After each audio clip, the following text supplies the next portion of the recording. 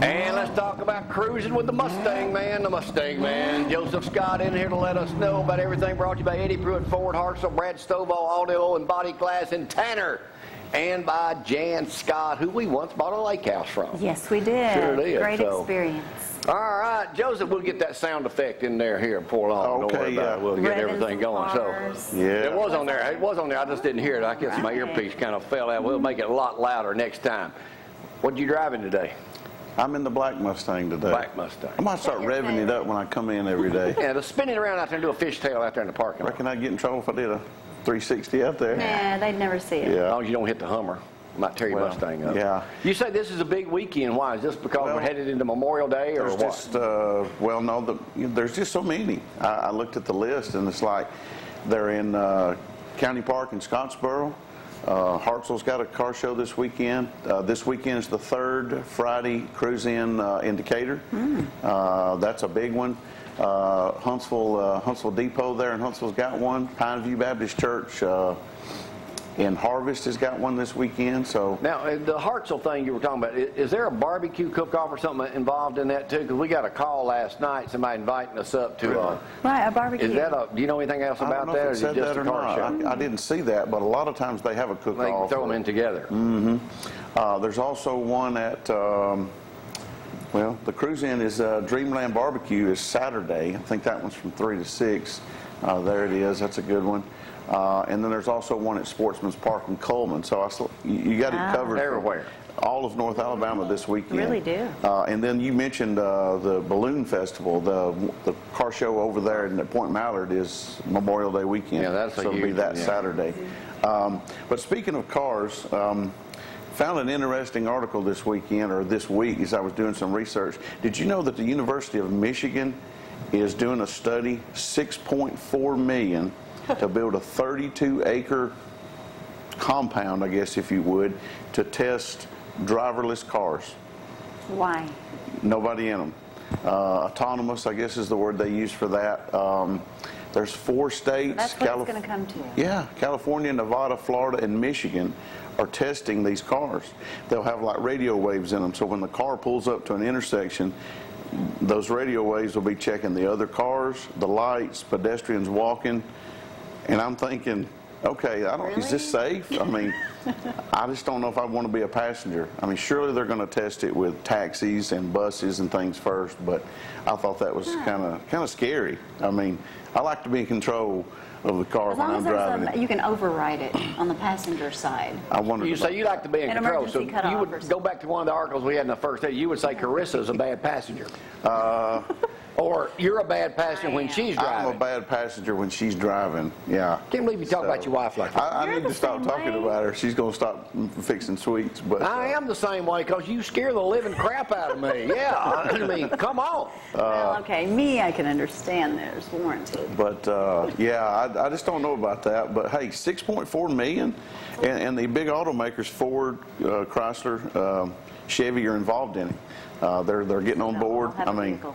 Maybe we need to do a study about that. I tell you, a study have I've done. 6.4 million, Now, no. It's big money. what's the most you would pay for a vehicle? The most I would pay for a vehicle. Now you're going to If get in it- trouble. On my current salary, probably about thirty thousand. Well, I'm- I'm just talking about if you had a lot of nice car money. For that. Uh, if I had a lot of money, about one hundred fifty thousand. There is a. Have you heard about the new Rolls Royce, the convertible? Uh, with that big, what was it, like a V12 engine in it or something? Oh, I ain't worried about the engine. I just know how much it costs. I don't know what the payment on this would be, but it's seven hundred and fifty thousand dollars for the did- car. I They're only making that. what five? Huh? Beautiful. Look at that. They're making uh, seven hundred and fifty thousand. So that's 450 pounds. So. Yeah, that's what it converts Wow. to that. But uh, there it is. They're only making like five or six of them. One of them's been delivered to Athens.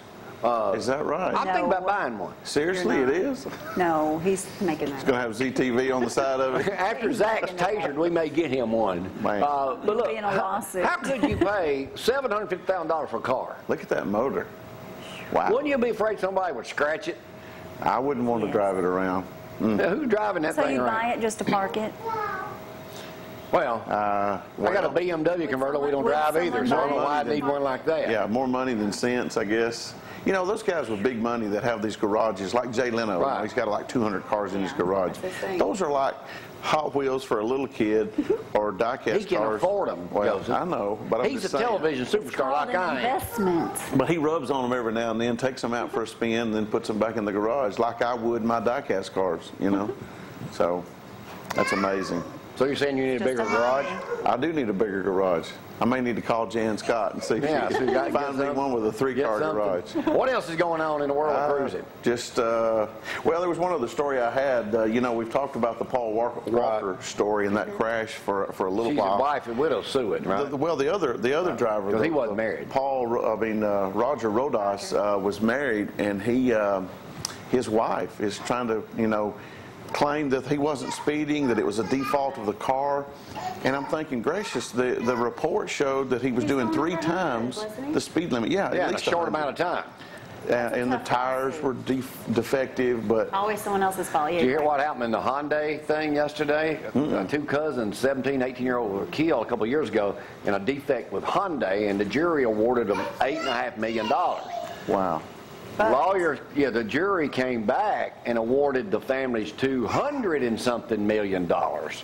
Wow. And Because of the, appealing they knew about the defect or something, and now the Hyundai saying, hey, wait a minute, this is outrageous, we're gonna appeal this.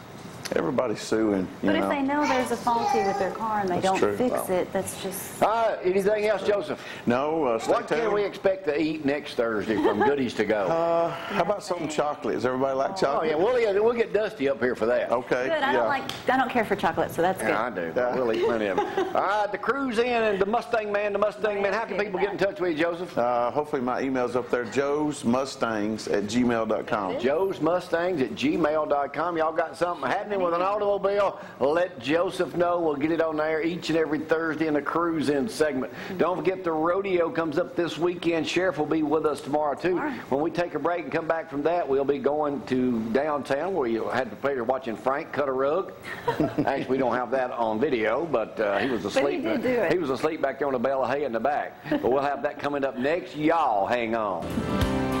Good morning.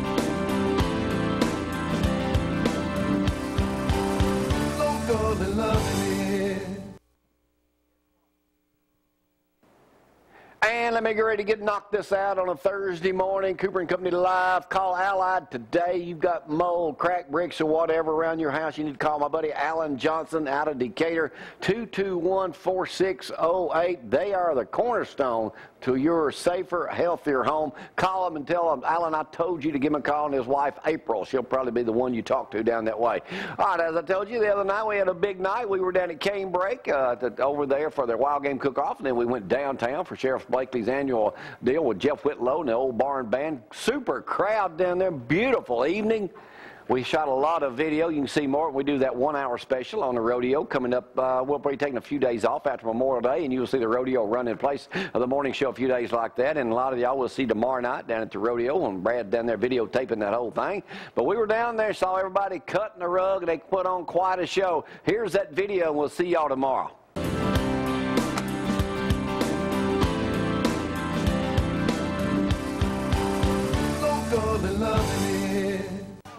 I straight to mom Cause I heard her so I thought she'd be devastated.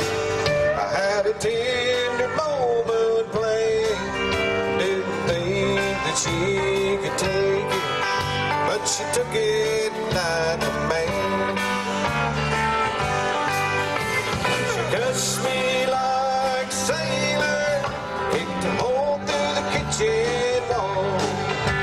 She threw a fit and threw the phone halfway down the trailer hall. She said, I'll be down at the bar. I heard that front door slam. I guess all in all, she took it like a man. I guess all